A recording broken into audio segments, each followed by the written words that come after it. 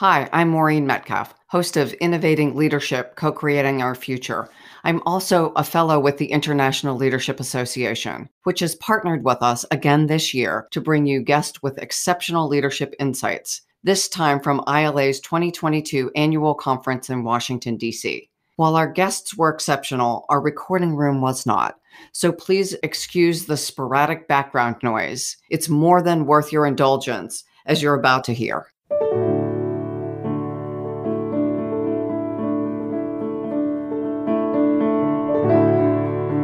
Welcome to Innovating Leadership, Co Creating Our Future. I'm your host, Maureen Metcalf, founder and CEO of the Innovative Leadership Institute. I am delighted to have with us today Diane Rosenfeld. She's a lecturer on law and the founding director of the Gender Violence Program at Harvard Law School, where she taught since 2004. So, Diane, why don't you jump in? And what I really want to hear about is your book, The Bonobo Sisterhood Revolution Through Female Alliance. It is such an important topic for us to be discussing today. As you said, I teach at Harvard Law School and I've been teaching there since 2004. My background is as a lawyer specializing in legal policy on violence against women, including working here in DC at the Justice Department in the Violence Against Women office. In 2004, I learned about bonobos, and they blew my mind as a model of human behavior. So I'll talk to you about bonobos, and I started working on how to integrate a bonobo model into human society in a way. And the product of all that work is this book. Since this is a leadership podcast, let's talk about for leaders listening, either emerging leaders or senior leaders. How does this tie to leadership? It ties exactly to leadership. So, if you will, let me explain how bonobos work and what is so fascinating about them. Bonobos, for those of you who don't know, are our evolutionary cousins. They look like chimpanzees, but they're actually a separate species from chimpanzees, but only recently identified as that in 1929. They're about four feet tall. They look very much like chimpanzees, except their muzzles are a little bit darker. They're a totally different primate, and they developed on the opposite side of the Congo. So, if a female bonobo was attacked by a male, she would let out a special cry. And the other females within earshot, whether they know her, like her, or are related to her, come immediately to her aid and they form an instant coalition. They fend off the male and send him into isolation. Permanent isolation? No, temporary isolation. Okay. He comes back, they all make up, and they live happily ever after. They are a peaceful primate. There's no lethal aggression like there is in chimpanzees. They are 98.7% related to humans in their DNA. And I think they present this just fascinating model for humans. So I asked, what if women came to one another's aid, whether we like each other, know each other, or are related to each other? And what would happen? And what would happen is that we will stop male sexual coercion. This will require leadership. It will require the people who pick up this book and read it and think about it and are challenged and inspired by it to say, Hey, I'm a bonobo and I'm just going to lead. I'm not going to ask for permission or direction or anything like that. I'm just going to lead. And when I hear that one of my sisters is in trouble, when I hear a bonobo call, I'm going to answer it. And I'm not the only one who's going to answer it. I'm going to lead in getting my other sisters to come with me to answer it.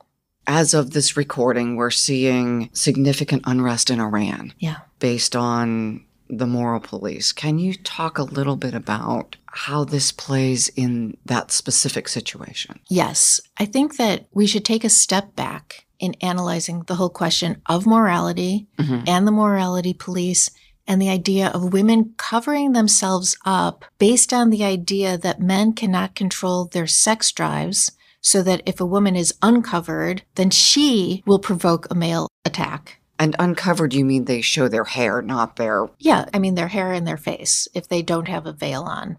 That assumption that underlies so much of our patriarchal religion is problematic in many ways. And what is going on in Iran seems to me a very bonobo like response because the women are standing up for one another, women of all ages, and saying, You could not do that to her. She was my sister. The bonobo principle, as I call it, is the idea of two principles. The first is that no one has the right to exploit, abuse, threaten, pimp, etc., etc., my sister. And if you believe that, you're halfway to being part of the bonobo sisterhood. The second part is that everybody's my sister. So I'm required to take action when I see any kind of inappropriate behavior, whether it's assault or in a workplace, just disrespect. Right, right. And in a workplace, it's so significant when women stand up for one another. And it's not something that we're often trained to do. I think that oftentimes girls in American culture are brought up to please men. And if we're in a situation where we're in a board meeting and a woman says something, but there are only two women on the board, we might not support her because we're afraid of losing our association with the male power that's in the room. And the lesson that bonobos teach us is that we have power when we form alliances with each other. And it's a power that I don't think has been explored anywhere close to its full potential yet. And I'm hoping that this book really pushes this idea forward that females, through strong female female alliances, really can change the whole structure of a patriarchal society. Say more about women and power, especially as we think about in the boardroom setting and in executive halls for mid level women and for junior women coming up. I was often the only woman in a room. I assume you were the same. So we built relationships with our male colleagues because that was the only choice. Not that we wouldn't have anyway, but I didn't necessarily always have women who would advocate. So power didn't come from strong female alliance. And I'm curious how that's evolving. Right. I think that's a great question. And taking it a step further is how do we make power come from female alliance? and we just have to be like bonobos. So I gave a talk at the Harvard bookstore last week, and a young woman asked a question along these lines and said, My experience at the consulting firm that she worked at was that the senior women didn't take care of the younger women at all. In bonobos, the older females always come to the aid of the younger females because the older ones can win fights on their own, but the bonobo juveniles are more vulnerable, so the older ones always come to their aid. Younger ones can ask older ones to come to their aid. Now that there's this book and this body of research and thinking and questions and models and calls to action. Actually, a young woman in a workplace could present this book to an older woman in the workplace and say, let's form an alliance. We will be stronger together in a patriarchy, which we are in, the whole world is a patriarchy, everything that's formed has been formed through male male alliance. And that's really significant. And that's one of the very important lessons that I learned from studying primatology with my colleague Richard Wrangham. Because in law, at the law school, in culture, we don't talk about patriarchy as a social order. We just take it for granted because that's what it is and that's what it always has been. And that's how power is distributed in our society. So law is the product of patriarchy. It's very obvious in many cases, many cases I talk about in the first part of the book. It reflects agreements between men over their rights, their property, and their control of women. For women to try to come in and shoehorn the law into a form that protects them isn't going to work, it turns out. We need like a whole new way of thinking about it, and leadership and collaboration across all lines for females is what has to take place. This is the backdrop. How is the book structured? Good question. The book is structured in three parts. The first part is the problem, the second part is the pivot, and the third part is the promise. So, the problem is male sexual violence is rampant in our society. Three to four women a day still are killed by their intimate partners in the United States. 40,000 women on average call for help every day. There are women and children who are seeking refuge from domestic violence. That makes them refugees, and that makes it necessary for us to recognize this as a crisis. This is a refugee crisis. 7,000 plus are turned away. They don't have enough shelters. So I deal with those kinds of problems in the first part of the book. And I would love to say to our listeners that if the problems in the first five chapters seem too heavy, skip right ahead to the pivot because the pivot is this. You have a self worth defending. And to enact this in the world, I want everyone to take a self defense course along with reading the book. That a bonobo inspired self defense course means I can defend myself. But once you take a self defense course, you really learn in your body somatically that you have the power to defend your sisters and women are often better at defending others than they are themselves. If you think about women giving advice to other women and saying, Oh my God, you've got to get out of that relationship. He's just not good enough for you or he's not treating you right, but are unable to do that in their own relationships because society places such high value on our relationships with males. In a business setting, yeah. what's the equivalent to a self defense course? Not to minimize now, I need to go add that to my to do list. But how do I defend in a work context my sisters, my colleagues? Is there an equivalent to a self defense course that helps me somatically say, my friend Diane, when we go downstairs, someone says something that's inappropriate? How do I get comfortable? Because I can't go kick them, or I probably shouldn't. But I could go up and say, do you know who you're talking to? Mm-hmm. This is the amazing Diane, and whatever the version is of go on your way. Exactly. When you take self defense, you actually learn a lot of verbal skills first because most aggression can be diffused by a strong verbal signal that you're just not going to take it. Like, you can't do this to me and you can't do this to my sister, the bonobo principle in action.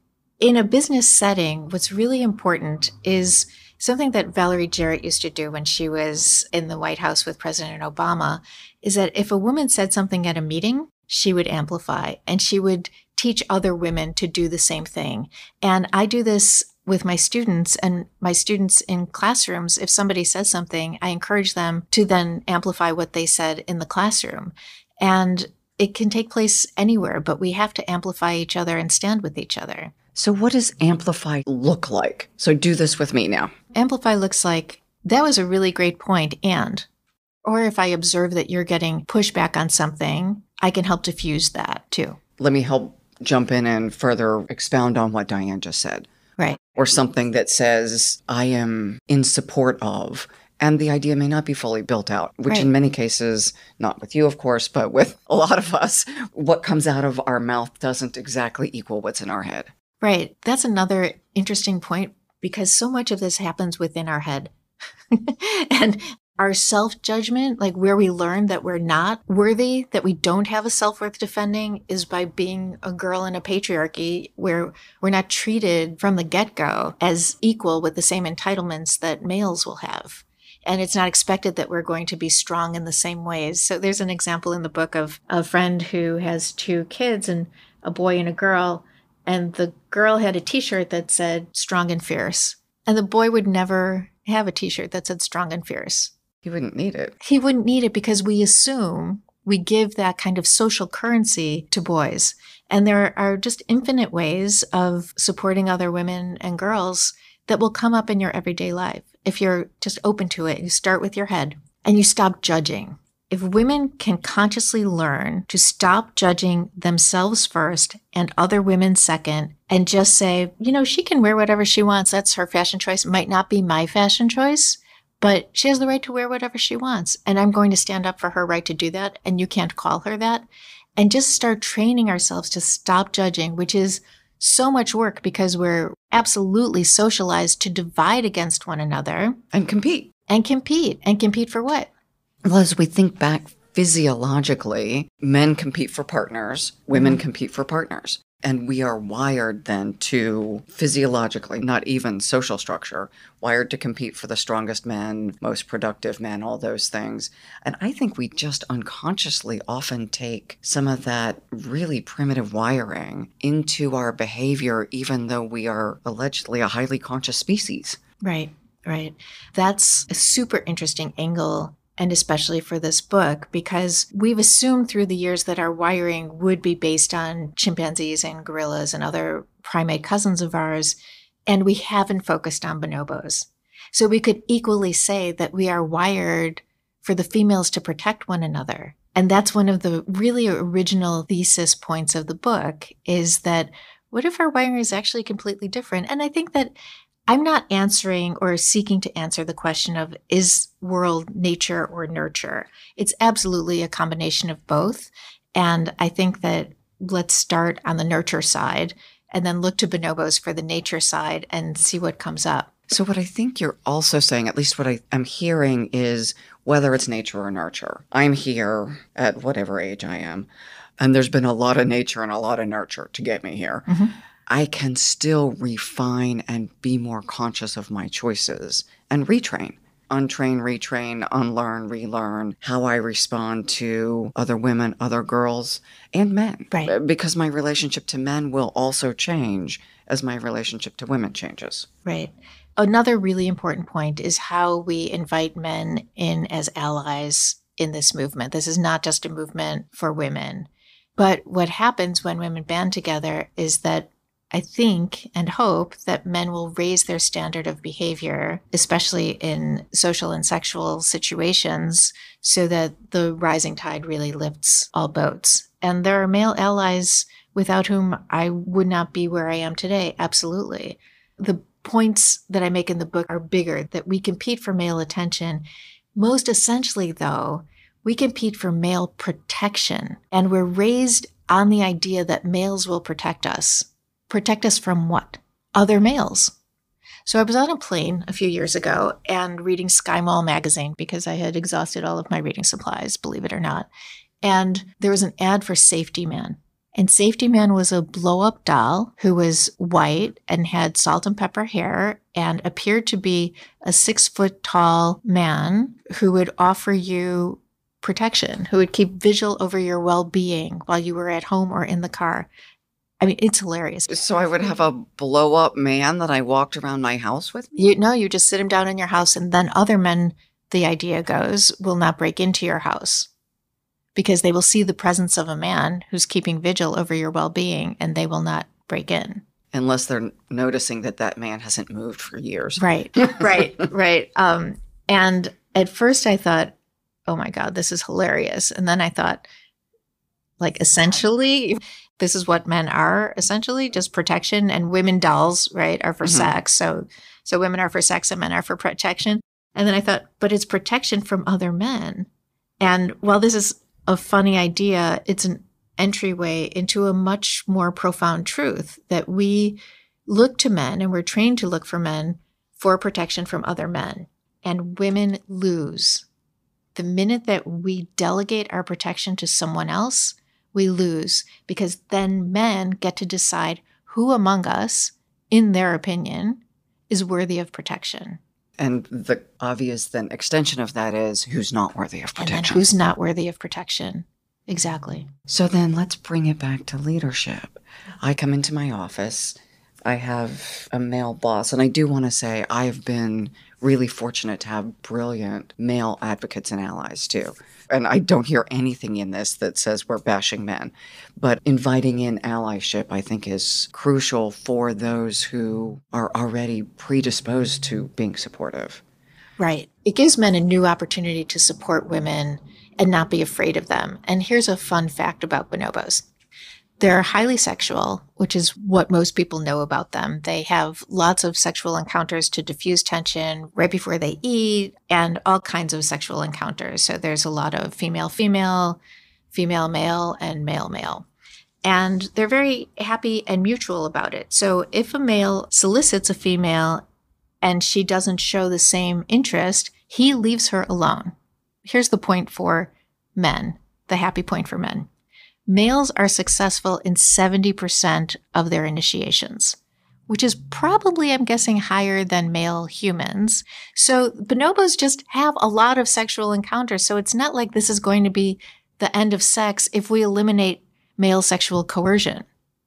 It's not at all going to be that way. It's going to open the door for like a whole new world of mutual almost an abundance mentality around sex. Yes. There's always enough. Right. And it's an abundance mentality about everything. And everything that I learn about bonobos gives me hope. They share food. We have enough food in the United States to feed everybody twice over. There's no reason that a child should go hungry. The last part of the book is called The Promise. And it's all about how bonobos can inspire and model leadership behavior for everyone else. Everything about the bonobos gives me hope. Everything they do gives me hope. They share their food. They protect each other. They watch over each other's children. They're just fantastic. As I said, there's no lethal violence among bonobos, which separates them sharply from chimpanzees. And one of the things that it inspired me to think about is a different lens of equality. And what if instead of thinking about equality in terms of women and men, we start thinking about equality among and between women? So, what does that look like? That looks like all women thinking about and identifying our resources and how we can share our resources and thinking about our privilege or our lack of privilege and really forming alliances to equalize the huge disparities among women. And to do this, we just need to think differently about the fact that we separate against each other to gain power in a patriarchy but really, the trick of the bonobos is to realize that it's through our, our strong alliances that we all do better. So, this sounds like a significant mindset shift. So, if I'm a person of privilege, and you and I both are by the fact that we're sitting here, does that mean I lose some of my privilege to help others? That's a great question. I would say absolutely not. That you, when you share your privilege, you gain the privilege of knowing that you shared, that you helped, that it's going to come back to you in a karmic way, and that all women will do better when we realize the bonobo principle. You talked earlier a little bit about abundance, and it makes me think about when I got my divorce, I wondered about how humans are wired. Are we meant to be monogamous? And all kinds of questions that aren't the topic here. But what that sparked me to do was start reading about early civilizations and what do the Maasai do? What do Aborigines do? People that are closer to early human behavior. And there was a lot more in those eras of women coming together. Men went off and hunted women together in a camp or in a tribe, or I don't know the terminology, would work together to support all of the children to cook collectively. They nursed each other's babies. I can't imagine any woman right now that I know who who would say there's a, a loud child, let me go nurse somebody else's kid in the grocery store. So we've moved away from those mores. Right. But there is history among humans even where we behaved very differently toward each other. Right. And we could again so my colleague Richard Wrangham, from whom I learned about bonobos originally, wrote a very fascinating book called Catching Fire. And it's about how the invention and discovery of fire really changed that and changed the time that it takes to cook food and family relationships and cultural relationships around that. But marriage has always been a patriarchal institution. And that's really an interesting thing to think about that, you know, we raise girls to like dream about their wedding day and the dress and where it's going to be but never about like the person that they're going to marry. And it could be useful to focus a lot more on that than around marriage because marriage can be a wonderful institution. I'm extremely fortunate and grateful to be married to my life partner. And that's wonderful when that works out. And it's important to think about that marriage was like a trade situation, that it was an agreement between a father and a husband over possession of a female. Who had certain economic value to the, the new husband. Who had certain economic value. And, and there are many cultural practices around the globe that still recognize that and operate on that principle. It's very troubling. And, and also, you know, we're humans and we can rethink things and we can change society and we can change laws. Bonobos did all of this without any law or constitution. And I think that that's really interesting too. I think that we could have a bonobo sisterhood constitution. That's in the last part of the book. I imagine what it would contain and how we would really think about and concretize the idea of equality among women. And I think that when we change that lens, amazing things will happen. So, your lens is law, Harvard law professor. My background is business. What is that constitution for a company? Changing the US Constitution is too big for me to think about. Hmm. But I do work with clients who could implement something like this as part of their organizational structure, all the way down to the corporate bylaws, but certainly the agreements we have in our vision, in our ESG policies. This is absolutely doable in a corporation. And then as I think about what it does to attract and retain talent and employee engagement that's going to drive profitability, all of this has a, a business ROI in a corporate setting that moves the needle, I think, in a way that we may not have considered before. I think that's brilliantly put and absolutely correct. I am also quite fortunate to have a mentor, Jane Dorenzo Piggott, who works in the area of diversity boards, retention, all of mm-hmm. what you just mentioned. And it's related to the book in that patriarchy is based on, as I said, agreements between men over women. And we have to change the whole structure, the whole institution to think about when you equally value humans as humans for their talent, you are going to have a better product. You're not going to have as good of a product if you're spending unnecessary time on like domination and exclusion. And when you include other voices, you're going to get a whole different, much enriched picture of whatever corporate goal you have. So, if we think back to my early Aborigines and Maasai, there were cultures that were female dominated or more equal. Then we went to patriarchy. And what we're talking about feels like another step in that crucial journey of how humans can live and behave and must do if we're going to create a better future than what we have. Some of our current systems have gotten us here and they have lived out their most productive phase. And it's time to enter a different way of seeing the world. And this offers a brilliant model for us to consider what does next look like? We all talk about there needs to be something new, but what is it? And this seems like a door open to say, here's a model for what it can be, and here are some tools to get there. Right. So that's all in the last part of the book. And I'm really eager to enter the leadership space and really think with other corporate leaders about how to implement the messages in this book. And this book is not a Bible of what we should do. It's not entirely an action plan. It's a suggestion and it's an invitation to the reader to come and rethink things that we've taken for granted for so long. And it's not just legal. Absolutely. It's really about life and improving the standard of living for everyone. There's so much potential that corporations have, even more than government in a way, because they can just make new rules without having to pass them. And inclusion always makes the corporate bottom line better. Yeah, I'm thinking of one of my clients who's just started a women's resource center. It's a hotel company. Their goal is to have 40% of their franchise owners be women. How do you get there? And they're doing lots of great stuff, like making sure that they have lenders who have favorable terms for women. So, all of the practical things one does to make this possible. And this gets to more of the mindset.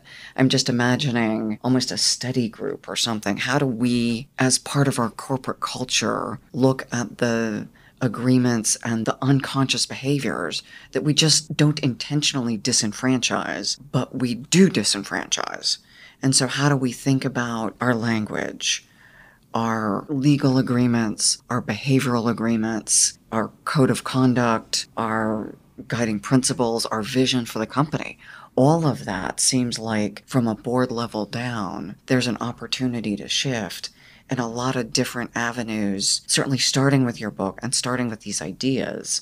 And just thinking about how would one, how would I offer this to that organization as a start? I think that's a great question. The answer is to go back to this idea of equality among women and privilege. And one of the things that we can do when we're identifying our own privilege is just get out of the mindset of what we currently value in a corporation anyway, and to really judge differently other people and invite unexpected voices into the room. So that might mean not only looking at grade point averages when you're looking at new hires, that you look at other things and you account for disadvantage and privilege withholding, if you will. And also racism. Racism is a huge factor that has to be dealt with. And I think that white women have a special role in identifying our privilege racially and disclaiming it because it's not legitimate. And to talk to black and brown women about what they go through on a daily basis that I, as a white person, don't is phenomenally chilling and so compelling. Like, we have to do something about it. We have to stand with our sisters and say, nobody has the right to abuse my sister. Everybody's my sister. We can do that. We can adopt that kind of thinking in a corporate setting, of course. It means like letting go of a lot of things that we take for granted as knowledge or as standard qualifications and getting back to a corporate principle and saying, well, what really is our corporation going to do? What are we hoping to accomplish? Where is our ESG? How can we do better? And one of the things that I learned from Jane about finding good board members and where an all white male board will say, well, we just can't find anyone. And it's like, what if there were a $20,000 prize for finding someone? Would you find someone then? Oh, yeah, or just open the lens. Like the lens is created under a patriarchy. What we value in society has all been created and stated under a patriarchy. And we can just redefine that. And I know brilliant, well qualified women that are not as leveraged in board roles as they could be. Right. Right. And we need to support them. So we can have a Bonobo Sisterhood Alliance for corporations. We're going to start it here now. And that's what we're going to do we're going to just open the pool and let everybody jump in and support them. I'm just imagining all of the permutations, some of them really positive and some less comfortable. I'm not saying it's going to be comfortable. It's never comfortable to identify your own privilege and how you might be enjoying something. In a zero sum kind of society, it might mean that somebody else is not enjoying something. It brings to mind sexual harassment in a workplace. And the claim is you can't treat me like that. I'm not a whore. You know what I mean? Like, you can't treat me as if I'm always open to your sexual aggression or invitation because I'm not prostituted. But what does that mean for our prostituted sisters? Mm, okay. Now I see where you're going. Yeah. And that's part of the bonobo principle. Like, you can't do that to me, but you also can't do that to her. I don't ever want to claim privilege on the backs of my less fortunate sisters who don't have the privilege to say, you can't treat me like that. You can't treat any of us like that. And I talk in the book about a really compelling case of a young African American woman in Milwaukee who is awaiting trial for killing a sex trafficker who trafficked her when she was 16. And there was evidence that the Kenosha Police Department had that he was trafficking 12 other young African American girls, possibly as young as 12 and the police didn't do anything with that evidence at the time that he was killed. They had that evidence for over two months. These cases bring to our attention the gross inequalities in American society right now. And I so sincerely hope that this book can take us to a better place. And I think that the idea of sharing privileges and rethinking leadership and alliance in a corporate context can get us there. And one more thing that corporations can do is sponsor self defense classes. So there's a story in the book about Kelly Herron, who was training for a marathon. And several miles into her run, she stopped in a park bathroom. And there was a man hiding in the stall, and he emerged from the stall and started attacking her. And she just started fighting back like crazy. And she's like, Not today! Swear word, swear word, not mm-hmm. today. And she beat him off and somebody else came they heard her scream and they came to her aid like mm-hmm. a good bonobo. They were able to hold him until police got there and he was tried and convicted. And she started a small nonprofit called not today. Mm-hmm. this is heroic. She had taken self-defense from her employer. Her employer had supplied that like three and a half weeks earlier. Wow. So she knew that she had the ability to self-defend and thank goodness she was able to. So corporations absolutely can and should and must offer self defense. It really will improve everything. I'm thinking for organizations that are too small, mm-hmm. there are professional associations could do the same thing.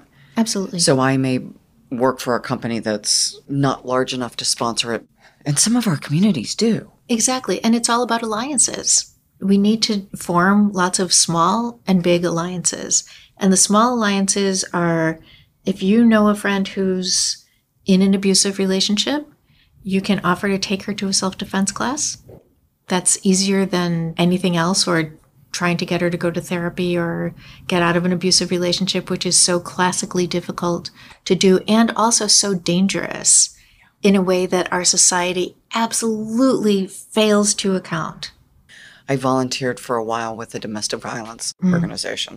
It's just heartbreaking to see the stats and to see the mental box that we can get in to think we have no choice. Right. I don't have a way out. And to think that we have no self, that we have no self worth defending. So mm-hmm. it's just, we can spend years in therapy thinking about a self worth defending, or we can take a self defense class, have our friends take a self defense class, and know that we have a self worth defending. Everyone who's listening has a self worth defending. Everyone has a self worth defending. Back to corporate setting. You mentioned senior women mentoring, supporting junior women. Is there a formalized process that you've seen, or is it just kind of ad hoc as, as a young person? I look and say, that one, I want Diane to be my mentor. For the women who are listening who have already achieved a level of success, is it incumbent upon me to reach down? Not that there's an up and down, but reach to people who are not yet where I am and help them. I would say absolutely. And that it's nothing to be afraid of. That I think that the divisions between women in a corporate setting are based on a zero sum mentality that there is only so much room for women in this organization and that there's a scarcity, that there's a scarcity mm. of mm-hmm. power. But if you take it from the perspective of the bonobo sisterhood and a perspective of abundance, that abundance will actually materialize. And you see a junior woman and you take her under your arm and you're not afraid that she's going to take your place or reduce your value at all. It's actually the opposite, that when we lift up each other, we can really improve attitudes towards women in general. Well, so then one other piece that goes with that, for me, it's not that I am worried about losing something. It's just time that I'm already so overcommitted that I haven't put it on my priority list because I can find time for getting coffee. I don't necessarily find time to grab someone and say, Hey, I'm walking down to get a cup of coffee. Come with me. Want to hear how you're doing today. Well, I think that corporate leadership can absolutely play a role in making sure that you have enough time. That when corporations set priorities, people meet those priorities. And those priorities should, in my opinion, include human resources. And I don't mean human resources, the department, the department, the personnel department. I mean human resources in that when you have happier, engaged, connected employees, you're going to have a better ROI. And I don't question any of that. I'm just looking at my schedule and saying, oh my goodness, how do I add this and what do I bump? As the very practical question that as we're talking, I'm thinking, I need to do more of this. Right. But what do I do less of? That really is a question of corporate leadership at the top. That when the leaders in a corporation value something, that not only does it trickle down, but they can demand that it trickles down. So they can set that as a priority and and put their money where their mouths are.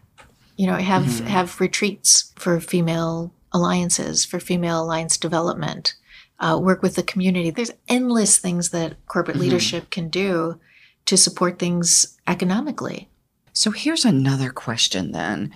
We run leadership development programs, mm-hmm. and I have advocated not doing women only programs mm-hmm. because the power structure is male. And when we pull women out of the power structure, then all these dudes get this great training.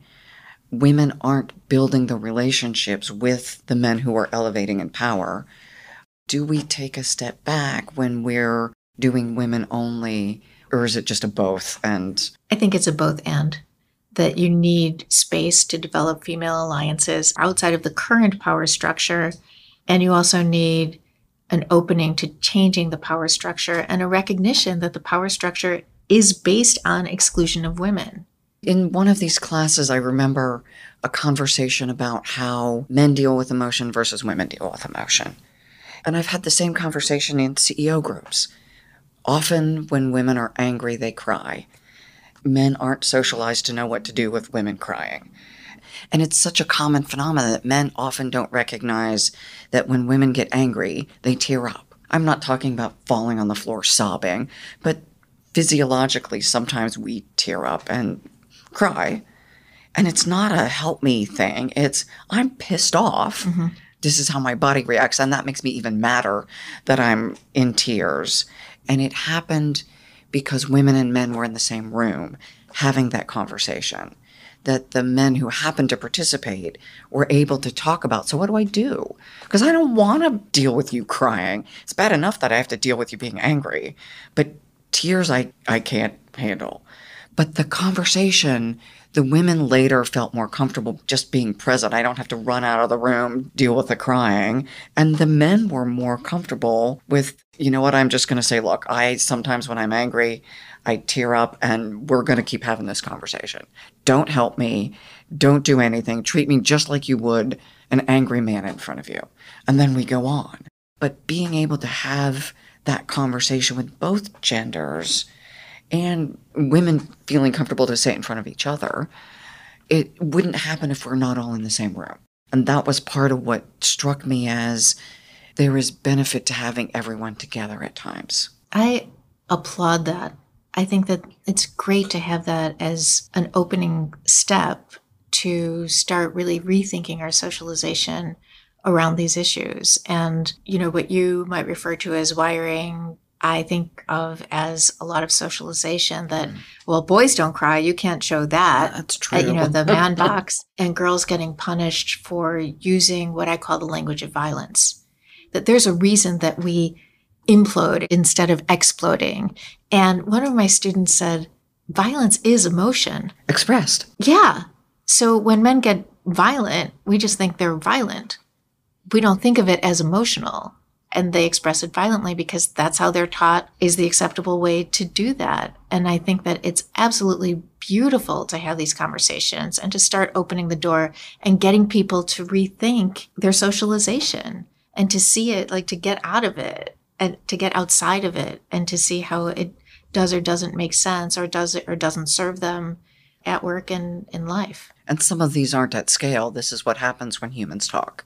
Right. And the next class may or may not ever have that conversation. Right, right. And I also wanted to say that it's all genders. I think all genders really are disadvantaged under patriarchy, and especially men you know, I spend a lot of time on, you know, patriarchy's effects on women, but it's also terrible for men. And to not have access to a full range of human emotion is not living and thriving. And when men are taught that their value is only economic or only protection, that's a terrible message to send to a human being. And I hope that the book is an opening into that conversation. So, are you recommending men read it also? This isn't a women's revolution. We're going to overthrow you. We're not overthrowing patriarchy. We are building a sisterhood. And it is an absolute invitation for men to read it. I would love for men to read it. It's critical for men to read it. And I think that I say a lot of things in the book that men really need to hear because they're participating in a system and thinking that they're benefiting from it. And I would really love for them to question that honestly. So, for example, hookup culture, where men might think, like, this is great because we can have sex several times a night without any swipe effort. Left, swipe right. Yeah, without any effort at all. But I think that this sexual culture is harmful to men in ways that they're starting to talk about. And it's very depersonalized. And women are starting, women have been, but are really starting to talk about that too. And I hope that the book furthers that conversation in pretty specific ways. As we're coming to close on the interview, you talk about the promise and the hope that we know there are problems with women being sex trafficked, women being abused by domestic partners. The stats on rape are astounding now that we're starting to see them. and there are opportunities forward. In the business setting where I think many of our listeners reside, while we may not be able to address sex trafficking necessarily, we can address how we interact and elevate our workforce, whether we're at the board level or anyone in the company. And for women listening who are not in positions of power, we still have power. Women can support one another, and our male allies can support. So, one of my early experiences, and this dates me, I was walking into a meeting with a male colleague. We were peers, a senior executive meeting. He was invited to sit down. I was invited to go buy someone a pack of cigarettes. and he said, Here, let me go with you. Hmm. So that amplify my value. And that for me was such an important moment because it did say she's equal. And that working relationship has formed a foundation for me. And that person and I haven't worked together for probably 30 years or 25 years. But that one act, and it was not just female allies, but male allies, and we weren't in power. It was, here, let me treat you like an equal. It's amazing how helpful that one behavior was. That's a great story.